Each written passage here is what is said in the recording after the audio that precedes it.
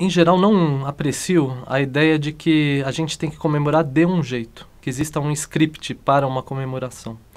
Eu sou super a favor das comemorações. Inclusive quando é para a gente, inclusive, é, refletir sobre coisas ruins que aconteceram. É, coisas ruins da nossa história. Eu acho que o momento do número redondo, né, 200, faz com que a gente reflita sobre como nós estamos, o que, que nós fizemos, o, o que nos trouxe até aqui. Faz a gente refletir toda uma jornada. E isso é oportuno.